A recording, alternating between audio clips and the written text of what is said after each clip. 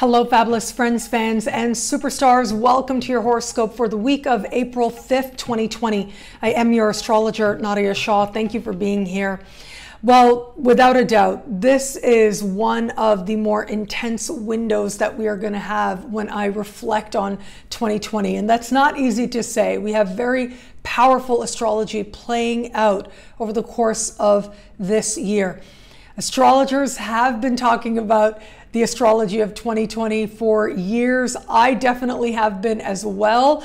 Uh, since 2018, even, and 2019 year ahead, I've been talking about how it is that it is this year that is changing us in powerful ways, helping to realign us and ultimately shift our consciousness in ultimately truly empowered ways. But it is this week where some of that peak energy is going to be felt that much more. And the emphasis is on the feeling part of it. It is going to be this week that we have a super moon, but it isn't just the fact that we have a full moon that appears larger and more bright in the sky than it ordinarily might, but that this supermoon happening in the sign of Libra, which has to do with connecting with others, communicating with others, those one on one alliances, genuine sharing, is also going to be speaking in conversations of tension with Pluto and with Jupiter. Both Pluto and Jupiter are perfecting their connection right out of the gate as we start this week, depending on where you are on the planet. In some parts of the Americas, it's very, very late on Saturday, but for most of the world, this energy takes place on Sunday as we start this week. And it is this energy, not only of Jupiter connecting with Pluto, but the fact that the full moon is bringing an element of emotion and a more personal element to it that is part of what is going to make it feel so important, make it feel larger. So let's talk about Jupiter and Pluto. These two planets will be dancing all year in orb, but there are three exact connections they will have. The first one is now. The next will be in June, and then the final will be in November. These planets connect every 14 years or so. And when it is that they do, it represents a time when we are looking at factors that feel big or powerful or maybe don't feel as fair. Pluto is, as I've spoken of before, um, the mythological underground, the god of the underworld. Hades. And if you think about what happens underground, right? If you think about where it is that we go deep within, that's where we find the variety of what we are as human beings. We find the best, sure, there's a transformative quality to this energy, but we also find those parts of the human experience that feel unfair, that might even feel cruel. In the sign of Capricorn, it is Pluto that has been bringing our attention to structures, whether you want to call them societal structures or global structures that are in place that can feel all encompassing and overpowering. Well, it is Jupiter now that is emphasizing or helping to not only bring attention, but helping it to feel as if this energy is that much more pervasive, that much bigger, that much more all encompassing. Jupiter can represent a healing energy, but as I've spoken of before, Jupiter in Capricorn um, isn't necessarily the easiest energy from which Jupiter can bring forward his higher, more optimistic, more healing qualities. Jupiter is expansive, right? It's an expansive energy and it grows whatever it is that is near it. And like Pluto representing the extremes of the human experience, so too can Pluto meeting Jupiter in the sky emphasize and highlight these very extremes. It's not easy for me to talk about because I know that as much as there are a lot of people out there who are going to experience this energy within, a lot of us out there are going to experience this in terms of our isolation that we're having right now, this sense of needing to be still, but more importantly, needing to look at ourselves deeply and intently, needing to understand what needs to heal within us, where it is that we've given over our power. I also want to acknowledge that there are going to be people who feel like there are external forces that can feel unfair at this time. But let me focus for a moment on the internal. Because I remember a spiritual mentor of mine many years ago, he said, whatever you hold in your mind, whatever thought it is, you know, it's it's like an energetic meditation when you hold certain thoughts in your mind repeatedly. That is your God. And what he meant by that is it's one thing to sort of conceptualize and intellectualize what a higher power is to us, but it is ultimately what we choose to focus on that rules us, rules our energy, rules our life, that determines so much of our experience. And that isn't to say that there are not things that are um, unfair or areas where it can feel as if there uh, are imbalances. But there's also that layer of our individual experience where we sometimes are not aware of that disconnect between the philosophical understanding of a higher power we have and what we're actually living. And the actual practice of what our higher power, what a divine energy is to us, well, look at what you're thinking about all the time. Look at the thoughts you hold, right? It's like a, it becomes a mantra, if you will. It is that very thing that speaks to what part of divine energy we are accessing most.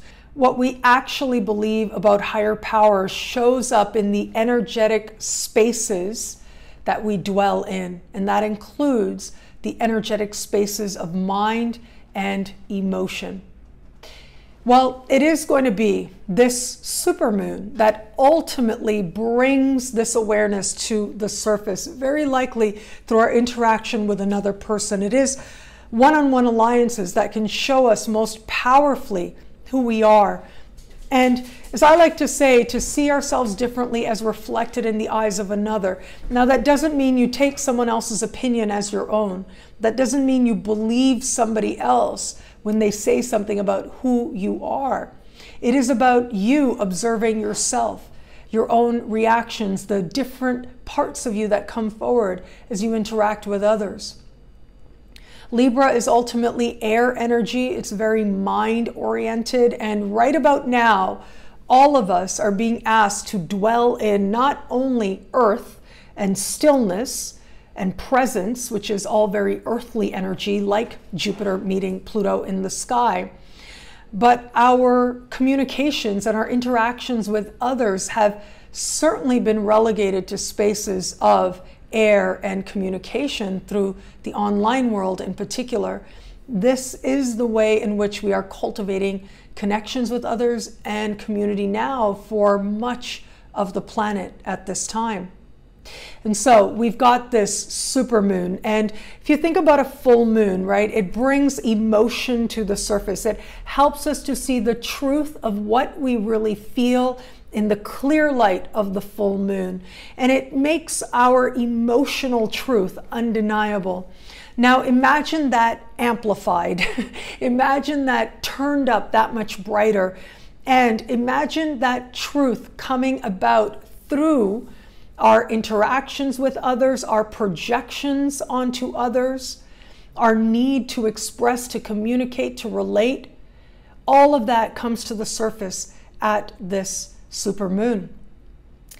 And where it is that there have been uh, limitations or where it is that there are barriers to that within us, where it is that it has felt painful to genuinely relate to another, all of that can come to the surface at this time as well.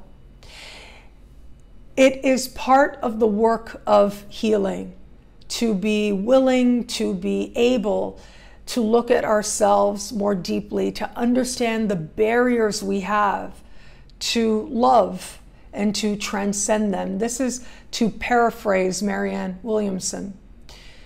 That work that we do to transcend our barriers ultimately is the path towards greater love and greater wisdom. And it is now that we are being asked to do that work. And how fitting that this is ultimately deeply personal and deeply private work. This is work that we can only do ourselves, that really we can have other people who facilitate this understanding, whether that's professionally in terms of the counselors and the social workers and the psychoanalysts you know they're all they're doing truly divine work in this world so we have people like that who do that work but then there is a point where whether it is friendships who facilitate that or help us to facilitate that or certain partners ultimately the work is our own no one can do that work for us to actually look and to transcend and to heal. And it is now, and especially when it is that we're interacting with others, that what that work is for us can feel especially acute. It can feel especially on the surface. We can feel that much more vulnerable at a time like this. And so, the promise and the potential now is to move forward beyond the vulnerability, to ask ourselves where it is that we are and what it is that we need so that we can move forward towards the genuine, not only connecting with others, but the genuine connection with ourselves, the peace within ourselves. What is it going to take? What does it require?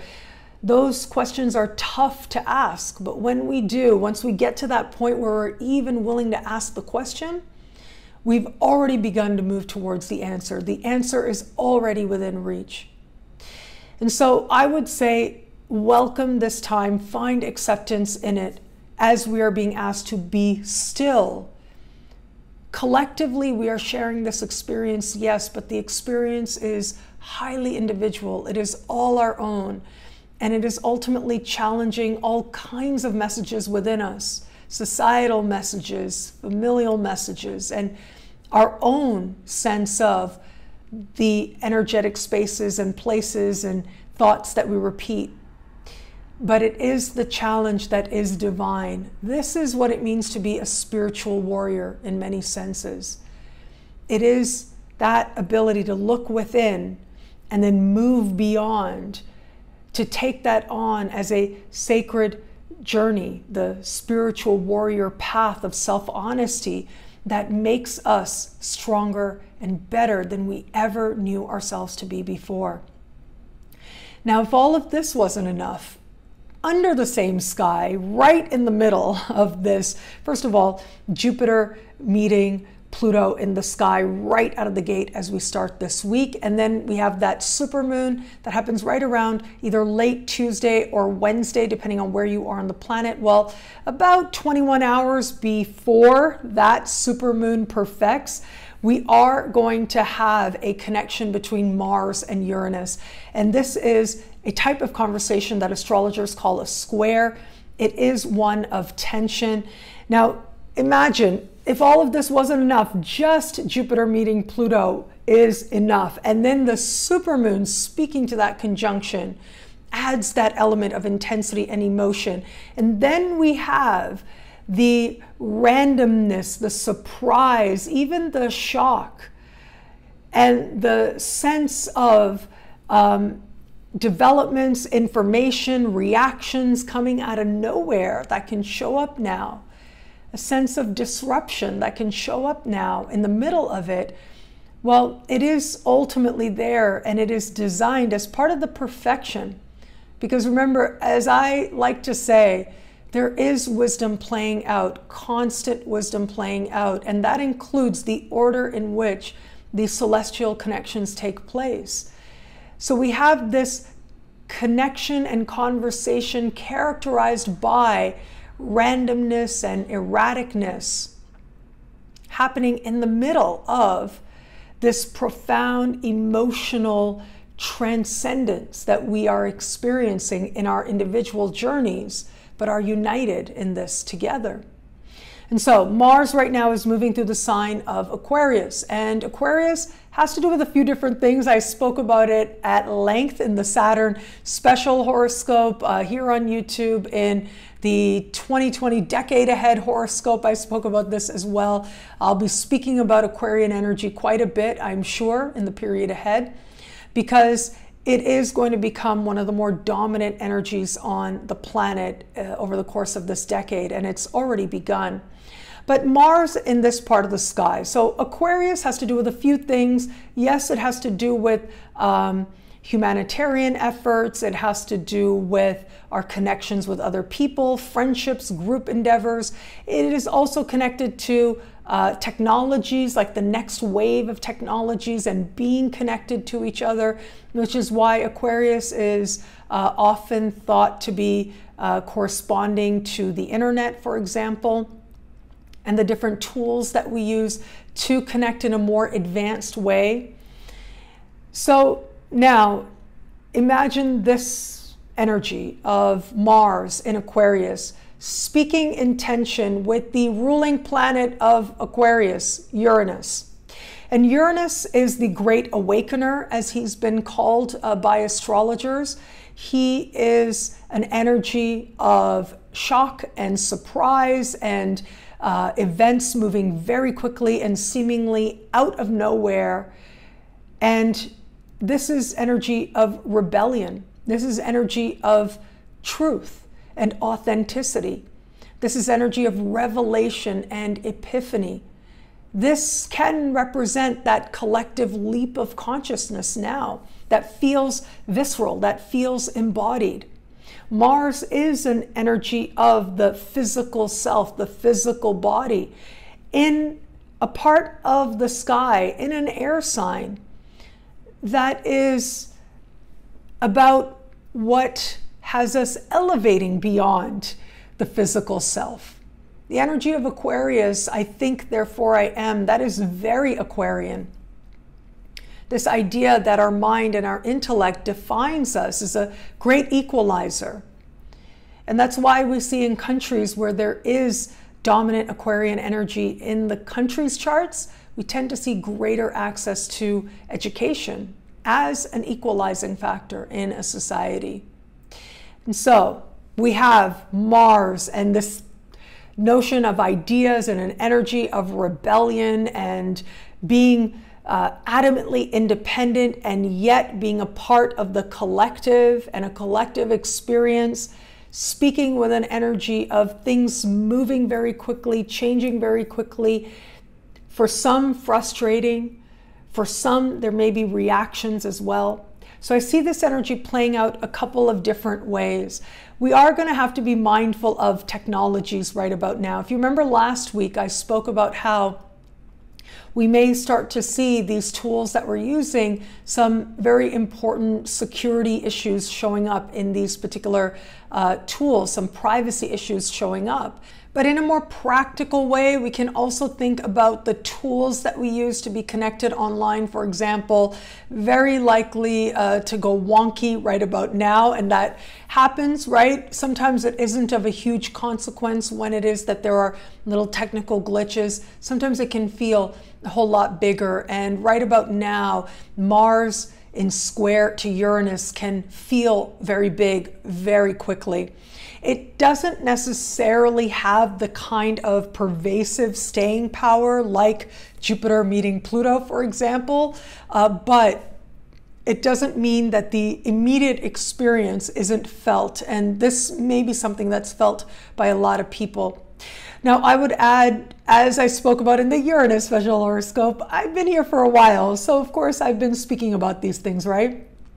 But in the Uranus special horoscope, I spoke about how um, money and how we interact with money, how we understand money is going to go through a revolution. And this is where um, some of that is going to be a lot more evident and where there may also be some resistance to that showing up at this time. So we can expect matters related to how we interact with, how we handle uh, money, how we pay for things. Um, some of that could cause either confusion or uncertainty right about now. So just know that this is an energy that comes, but it also goes. It's not as pervasive. But this can be one of those important sort of activating moments, if you will, when we take into consideration these larger trends that are going to be coming up. And also keep in mind that it is this month that we are going to gain powerful glimpses into 2021. It isn't just about what's happening right now, but when you think about the fact that in 2021, Saturn and Uranus are going to square each other. They're going to be dancing in square. The issues that show up now very quickly and also may find some resolution or at least some temporary resolution you may also see some of this sense of resolution showing up later this month with that new moon in Taurus that is going to be happening. That new moon that happens two weeks after the supermoon um, is going to be hand in hand, conjunct Uranus, square Saturn. And that is also going to be a glimpse into what it is that we have coming up ahead in 2021. But this month is so powerful in that regard. So, as much as it feels like we are becoming aware of where it is that more people are wanting change, or we're becoming aware of how it is we want to understand whether it is prosperity, whether it's self worth, whether it is access to money and resources, our ability to create prosperity for ourselves. Where more and more of us are wanting to understand that and wanting to be more independent in that that desire is going to come right to the surface for the collective. Very likely, some event this week is going to bring that right to the surface. And then we're going to start flushing it out and changing things a little bit by the time we get to the new moon. But whatever arises now, it may not be as um, pervasive or as much a social force just yet the way that it will be in 2021. So, very important to pay attention to what is happening with the collective right now, because this is exactly what we are going to be working on, looking at further developing, further understanding about our collective and our human experience uh, much more fully once we navigate into 2021. So we've got this intense start of the week, right? Even within us, chances are we are going to be feeling a sense of wanting to take action, perhaps having erratic reactions. Uh, very classically, astrologers have said that when Mars squares Uranus, this can represent accidents as well. So it's important to be super careful uh, with this energy where possible. And I would say, especially where it comes to electricity because of all that Uranian Aquarius energy that has to do with electricity. Um, where it comes to electricity that's running in the ground because of that Taurus connection there, these are areas where we do want to be careful in our own lives as part of our own individual experience. But for all that, once we get past the emotion of the supermoon midweek, we'll start to feel the energy just uh, calm a little bit, which is going to be quite welcome, I think, for a lot of people by the time we navigate late into the week. So, what is happening late in the week? Well, first of all, right around Friday, Venus goes into shadow. I will have Venus retrograde special horoscope, so be on the lookout for that uh, in the second part of this week. So I will save that conversation for then because I got a lot to say about that. That is going to be, um, and this is going to be very significant this Venus retrograde season, given that it is happening in the energy of Gemini. Gemini has to do with the ways in which we communicate with each other. There are some uh, who now say that the internet is actually under the providence of Gemini because it's a, a regular tool that we use. Once something stops being the next thing and the new thing, and it becomes more about what we engage in every day, it becomes the providence of Gemini as opposed to Aquarius, where it comes to the ways in which we connect and communicate with each other. So, this is going to bring our need to be connected, uh, especially online, our need for mental connections, for stimulation on a mind level, uh, and the ways in which we are essentially social creatures all of that is going to come to the surface and the desire on a heart level is going to be very strong in people as we navigate forward. Again, I'll have a whole lot more to say about that. But on the same day, Mercury will change signs, moving into the sign of Aries. So it's been quite the Mercury retrograde season. That's over now, right? Mercury left shadow a couple weeks back, but it is now that Mercury truly does step into new ground. While Mercury is moving through the sign of Pisces, it is feeling, even if there wasn't Mercury retrograde, which there was, that in and of itself can make it feel like a Mercury retrograde. You add an actual Mercury retrograde, it amplifies the energy that much more. But I do love that just before Mercury does leave um, the sign of Pisces, in the first half of the week and under the light of the supermoon, Mercury will speak in harmony with Jupiter and with Pluto. That gives me a whole lot of hope. That tells me that we find people to talk to. We find ways to make sense of very intense energies. We find ways to understand how it is that we are going to integrate and be better for what is transforming within us now, individually and collectively as well.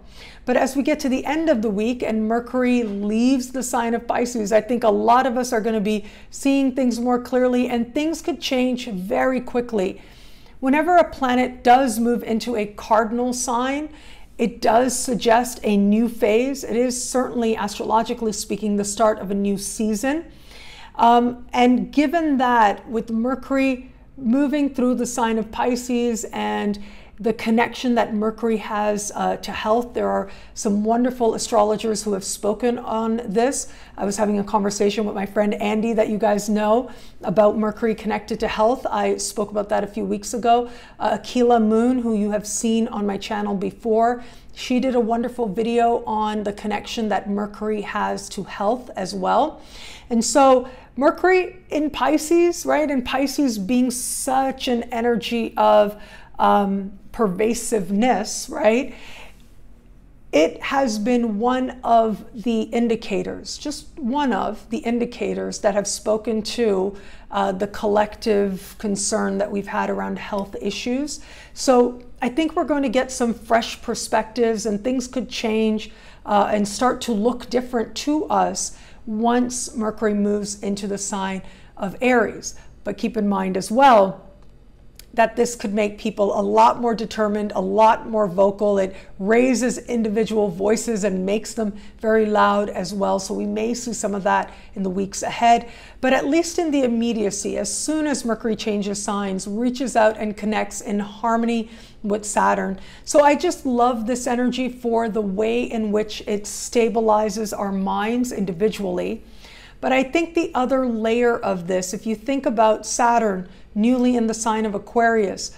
Earlier in the week, we've got all that heightened Aquarian energy with Mars speaking with Uranus, at least now, this is going to be when either it's messaging, either it's the media, or the more personal one on one conversations that we're having help us to feel a greater sense of stability and help us to feel that in a very practical way, things can get better for all of us and for the collective.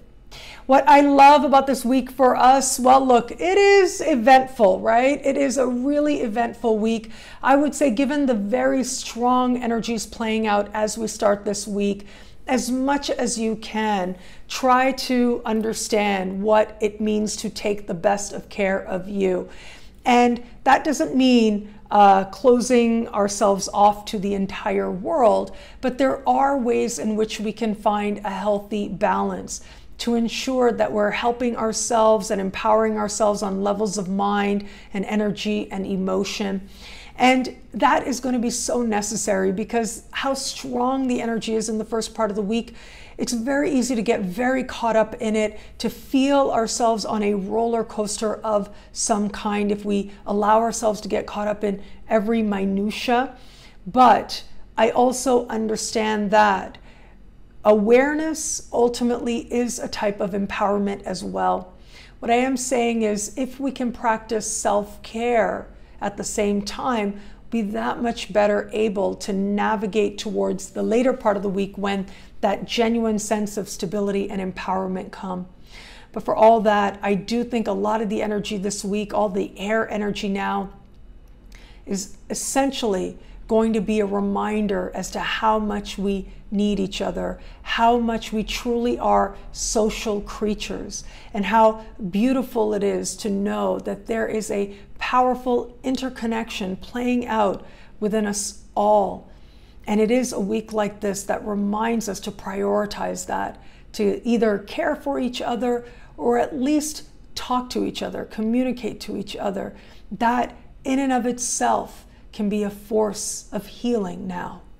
Well, thank you so much for watching. What do you love about this week? Let me know in the comments below. I love reading you guys. And of course, if you want to know how all this wonderful stuff this week speaks to you and your sign, log on to nadiyashah.com, sign up to be one of my superstars. Superstars get expanded exclusive video scopes each and every week, unlimited access to special horoscopes, and so much more.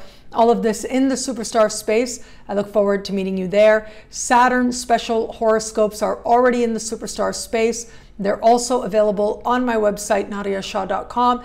And the Venus retrograde special horoscopes are going to be made available first to superstars in the superstar space later on this week. I hope you absolutely love them. And they will, of course, also be available for download on my website as well. Thank you for your trust in my interpretation of the sky.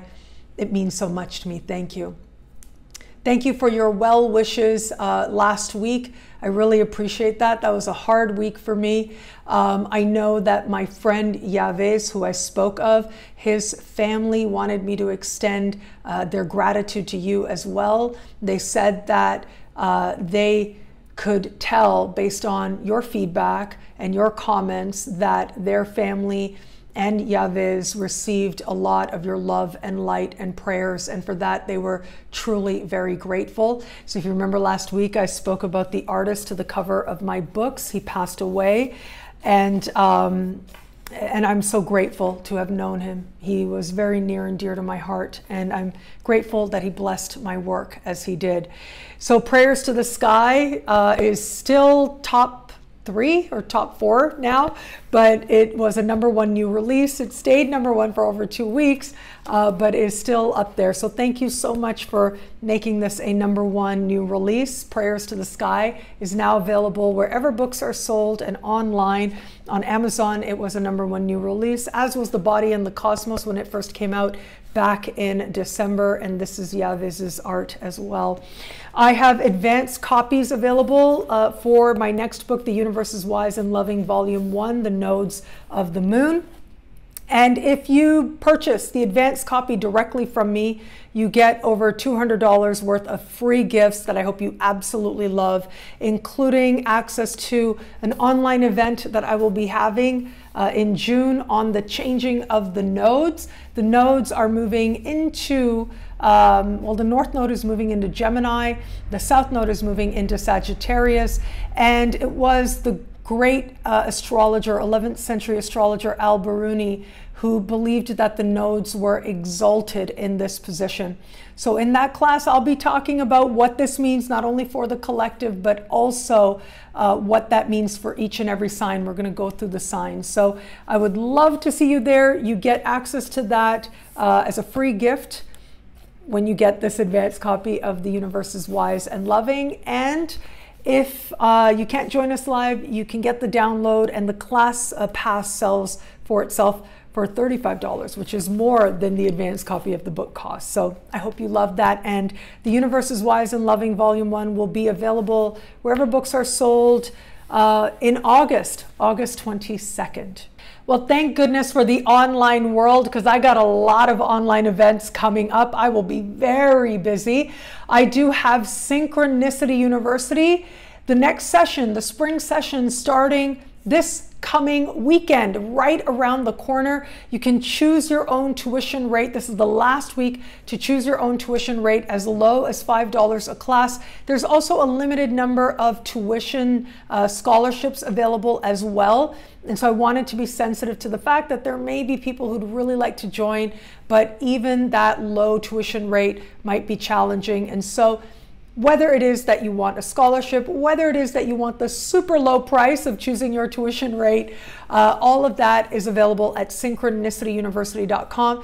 This coming Saturday, uh, we are going to be looking at retrograde planets in the astrology chart, much requested class. And so I'm really excited. We'll go through each of the planets one at a time and talk about uh, what it means if you have that planet retrograde in your chart. And then the following week, we're doing Introduction to Numerology. I'm really excited about that. And I actually will have, uh, I'm hoping to put together some surprise in regards to that as well. So that's going to be a lot of fun. Numerology is something I have used in my own life personally um, and have loved. And I use it as part of my own spiritual practice. So it'll be a lot of fun to teach that to you guys. And then we're going to also have classes on Chiron in aspect to planets in the astrology chart. We're going to have Venus in aspect in the astrology chart and Mars through the signs and houses. So there's lots to look forward to. A really fun uh, session coming up, and I look forward to walking that with you. But I said I have other events as well. AstrologyRisingCostaRica.com is now an online party. It is going to be a week long online party. It is going to be super fun. Kaypacha, who is an incredible astrologer and is the organizer for this event, is arranging everything, and it's got the same amazing uh, faculty that you were going to get in person. Now you get us online. I'm going to be teaching fully four classes over the course of those days. So you will get to see me online um, teaching in all kinds of different things. You'll get to see the one and only Rick Levine teaching as well. And Maurice Fernandez, world renowned astrologer Maurice Fernandez. We, of course, have Kaypacha. We've got uh, Ari Wolf, Timothy Halloran, Christina Caudell, and Julia Simas. So there's amazing people to look forward to and learn from and be a part of this immersive event. There is going to be like an online dance party and just all kinds of fun. So I think it is going to be such a unique and special experience. And I look forward to meeting you there at astrologyrisingcostarica.com. And my event with Astrology Toronto is now going to be online as well. That is taking place uh, in May. And there's lots of other events I have also. So be on the lookout for that. You can check out the events page on my website as different things move into the online space. And finally, I do want to let you know that my partnership with Cosmogram is ongoing, and you can get my interpretation of your natal chart at any time by visiting the link in the description below. Uh, you'll be navigated to the Cosmogram website. Uh, they're the one who take care of everything. They process all the orders and they generate a report and get it delivered to you by email within hours of your purchase. And so if you wanted to know what I think about what sign your sun is in, what house your sun is in, what aspects your sun makes, and all the different planets in your chart, uh, have a look at that. Again, link in the description below. Uh, and that was definitely so much a labor of love uh, to do all those different sections to pour um, my really my love of astrology into this report. And it's gotten such amazing feedback. It was so popular as soon as it came out. I know cosmogram and i was very surprised. So thank you for making it such a hit. And it is still available uh, on their website. Link in the description below so that you can know what i think of your natal chart and all the wonderful things going on there. And thank you. Thank you so much for being here. Thank you for your trust in my interpretation of the sky. You, my audience, you mean so much to me. And uh, your presence, your love, uh, all of it, just thank you. You bless my life in so many ways. And to be some part of your sacred journey, it just means so much to me.